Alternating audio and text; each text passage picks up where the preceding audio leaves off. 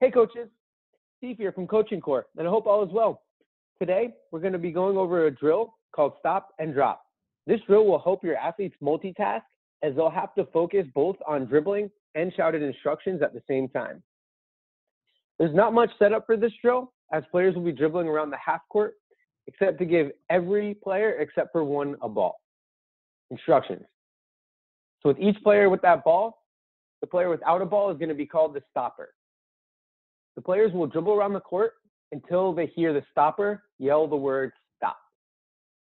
Once they hear that, they must stop and wait for the stopper to yell out drop. When the stopper yells drop, players will then put the ball on the ground and run to a new ball, at which point the stopper can also try and find a new ball.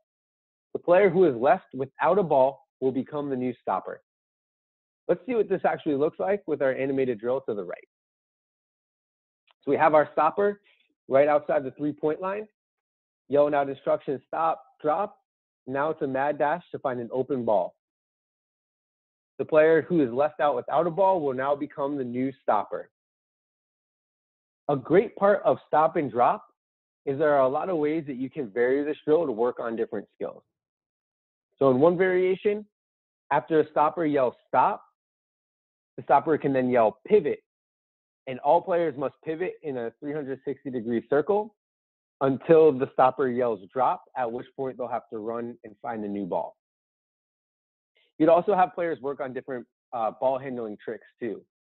Have them uh, go around the waist, around the ankles, do figure eights around their legs, or use finger taps to, to push the ball back between uh, both hands.